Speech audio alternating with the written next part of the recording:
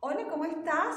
Hoy vamos a hablar de Simón Rodríguez. ¿Sabes quién es Simón Rodríguez? Sí, Simón Rodríguez nació el 28 de octubre de 1769.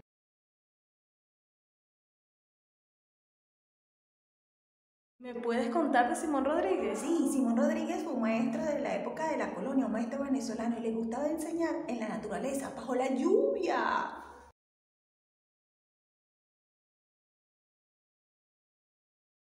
Una cosa de Simón Rodríguez curiosa, que fue el maestro de Simón Bolívar. ¿Tú sabes quién es Simón Bolívar? Sí, claro, el libertador de América. Si quieres saber más, pregúntale a tu mami y a tu papá.